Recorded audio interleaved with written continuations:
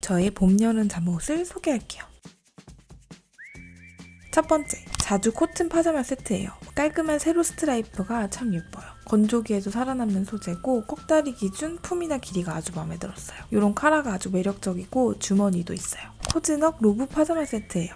잔꽃 무늬가 있고 이건 가격 대비 소재가 진짜 좋더라고요. 로브랑 바지 따로따로 활용할 수 있어서 실용적이에요. 여름용 자주 파자마 세트예요. 완전 여름용이라 정말 얇아요. 소매에 이렇게 eyelet 포인트가 있어서 귀여운 느낌? 주머니도 있고 여름에 진짜 시원하게 잘 입을 것 같아요. 릴리실크 스트라이프 파자마입니다. 저의 유일한 고급 잠옷이에요. 실크 맛집답게 진짜 소재가 좋아요. 심지어 건조기에서 이 정도로 살아남습니다. 해외 제품이라 길이랑 품이 딱 아주 마음에 들었어요. 너무 부드러워서 편하네요.